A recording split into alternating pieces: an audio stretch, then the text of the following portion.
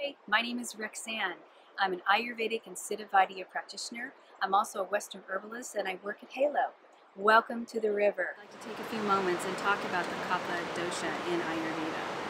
Kapha is made up the two elements of earth and water. And clearly at the river we have a great opportunity to be surrounded by the water and of course these great rocks and the earth below us. And it makes up the stability.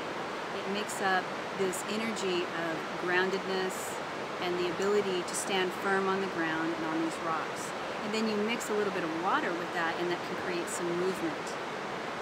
So with that, the Kapha is about staying grounded, being focused, being slow and methodical, and being steady. And with the uh, with all the movement in the world today, we want to increase the kapha energy in our bodies.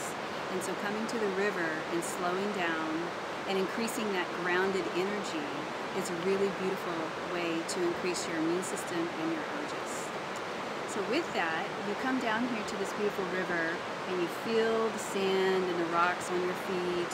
You put yourself into the water and then you come over and lie on these beautiful rocks and really enjoy the earth and the nature, and that alone will put your mind and body at ease, and that way you can have some mental ojas and build your energy and be calm and sorted. Thank you.